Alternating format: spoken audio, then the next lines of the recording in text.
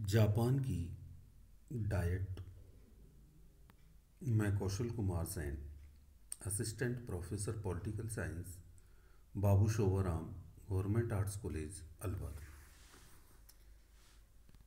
हम अब जापान की संसद, जिसे डाइट कहा जाता है, का अध्ययन इस अंक में करेंगे। जापानी संसद को अंग्रेज़ी भाषा में डायट कहा जाता है। और जापानी भाषा में इसे कोकई कहा जाता है।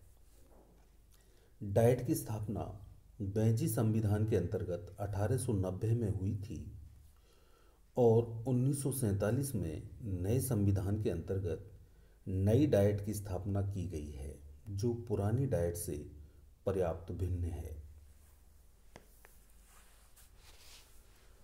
डाइट की रचना। डाइट के दो सदन हैं। पहला प्रतिनिधि सदन, ये प्रथम व निम्न सदन है, और दूसरा सभा सदन या पार्षद सदन, ये उच्च सदन है। पहले हम प्रतिनिधि सदन का अध्ययन करेंगे। यह डाइट का प्रथम एवं निम्न सदन है। वर्तमान में सन उन्नीस सौ चौरानवे के राजनीतिक सुधार कानून के अनुसार प्रतिनिधि सदन की सदस्य संख्या 500 है। सभी सदस्यों का चुनाव वयस्क मताधिकार पर आधारित प्रत्यक्ष निर्वाचन एवं गुप्त मतदान पद्धति के आधार पर किया जाता है। इसके लिए समस्त निर्वाचन क्षेत्रों को दो भागों में बांटा गया है। पहला, एकल सदस्य निर्वाचन क्षेत्र, दूसरा बहु सदस्य निर्वाचन क्षेत्र। प्रथम प्रकार के निर्वाचन क्षेत्रों की संख्या दो सौ चौहत्तर है तथा शेष 226 निर्वाचन क्षेत्रों में प्रतिनिधियों का चुनाव आनुपातिक प्रतिनिधित्व की सूची प्रणाली के आधार पर होता है। अर्थात दल, अर्थात मत, दल की सूची को दिया जाता है, व्यक्ति को नहीं। इस प्रकार प्रतिनिधि सदन की सदस्य संख्या 500 है, जो एक वयस्क मताधिकार के आधार पर जिसका निर्वाचन होता है, समस्त 500 सीटों को दो हिस्सों में बांटा गया है। एकल सदस्य निर्वाचन क्षेत्र, जिसके दो सौ चौहत्तर सदस्य हैं इसका तात्पर्य है कि इन निर्वाचन क्षेत्रों से कितने ही व्यक्ति खड़े हो सकते हैं, लेकिन जीतता वही है जो सबसे अधिक मत प्राप्त करता है। इसलिए इसको एकल सदस्य निर्वाचन क्षेत्र या प्रादेशिक निर्वाचन क्षेत्र भी कहा जाता है। दूसरा, बहुसदस्य निर्वाचन क्षेत्र। इसका तात्पर्य है कि यहाँ से बहुसदस्य विजयी होते हैं और इनका ये 226 हैं।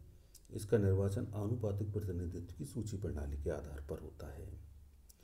प्रतिनिधि सदन की योग्यताएँ। जो व्यक्ति प्रतिनिधि सदन का सदस्य बनना चाहता है, वह जन्मजात जापान का नागरिक होना चाहिए। उसकी आयु 25 वर्ष हो से अधिक हो तथा संबंधित चुनाव क्षेत्र में पिछले तीन माह से रह रहा हो। कार्यकाल प्रतिनिधि सदन का कार्यकाल चार वर्ष है, परंतु समय से पूर्व भंग भी किया जा सकता है। पदाधिकारी,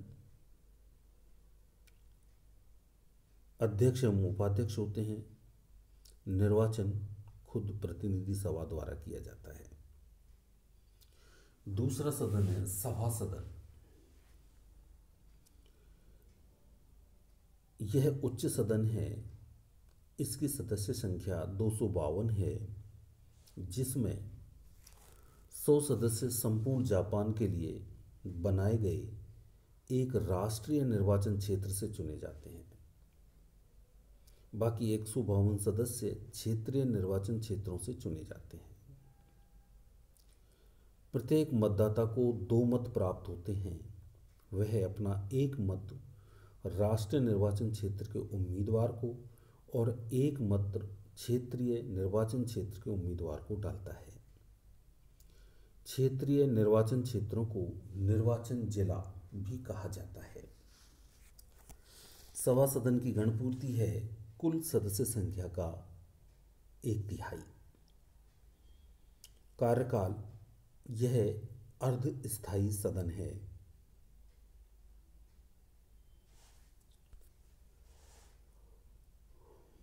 इसके सदस्य छह वर्ष के लिए चुने जाते हैं।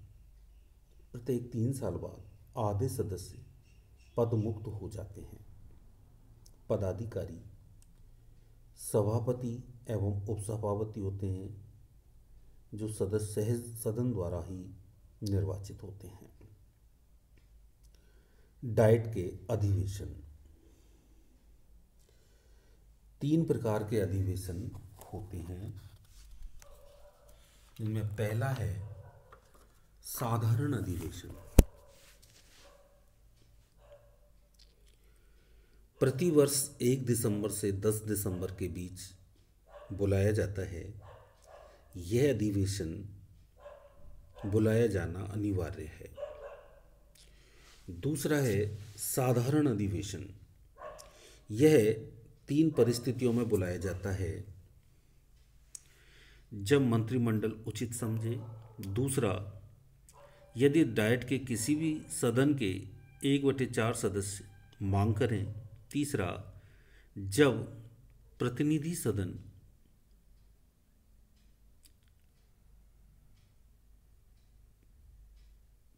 को चुनाव के उद्देश्य से विघटित कर दिया गया हो और उसी समय राष्ट्रीय आपात की स्थिति हो तो सभा सदन का साधारण अधिवेशन आमंत्रित किया जाता है।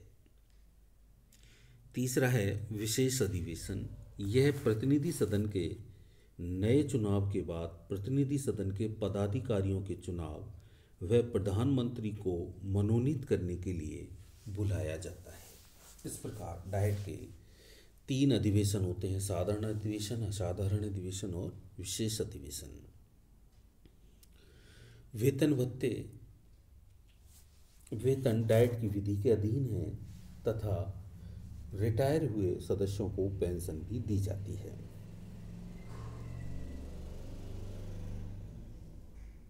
डाइट के विशेषाधिकार, सदस्यों को भाषण की स्वतंत्रता प्राप्त है, केवल फौजदारी मुकदमों में ही गिरफ़्तार किया जा सकता है।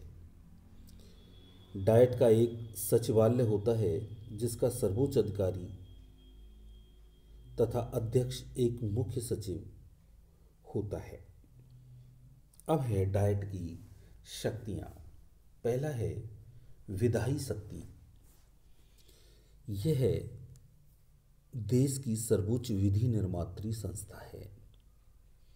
विधि निर्माण के क्षेत्र में दोनों सदनों को समान अधिकार प्राप्त नहीं है, अर्थात प्रतिनिधि सदन अधिक शक्तिशाली है। तीसरा डाइट के कानूनों पर कार्यपालिका को निषेधाधिकार अर्थात वीटो प्राप्त नहीं है।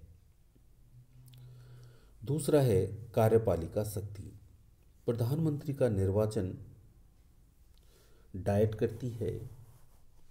डाइट के सदस्य मंत्रिमंडल की नीतियों एवं कार्यों की आलोचना कर सकते हैं। मंत्रिमंडल विदेशों से संधि या समझौता करता है, किंतु इसकी स्वीकृति डाइट ही प्रदान करती है। अगला, डाइट को विभिन्न विभागों में फैले भ्रष्टाचार की जाँच करने का अधिकार है। तीसरा है, वित्तीय शक्ति। डाइट को बजट को स्वीकृत अस्वीकृत व संशोधित करने का अधिकार है। दूसरा डाइट सरकार के वित्तीय भ्रष्टाचार के लिए समिति बैठा सकती है। तीसरा, अंकेक्षण बोर्ड, ऑडिट बोर्ड अपनी रिपोर्ट मंत्रिमंडल को देता है। मंत्रिमंडल अपनी रिपोर्ट संसद के सामने पेश करता है, जिस पर संसद विचार करती है। राज परिवार की संपत्ति भी डाइट के नियंत्रण के अंतर्गत आती है। डाइट अब चौथा है, डाइट की न्यायिक शक्तियाँ।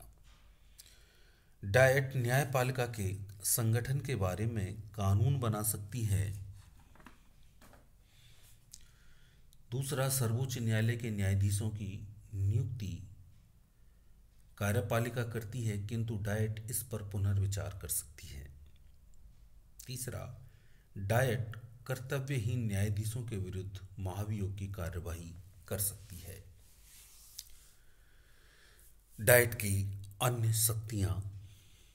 पहला, संविधान में संशोधन की शुरुआत डाइट करती है। दूसरा डाइट को अपने सदस्यों की योग्यता निश्चित करने का अधिकार है।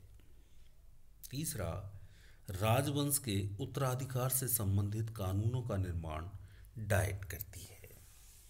इस प्रकार ये जापानी संसद के रचना उन दोनों, दो सदनों से मिलकर जापानी संसद का निर्माण होता है और हमने जापानी संसद की शक्तियाँ का अध्ययन किया। धन्यवाद।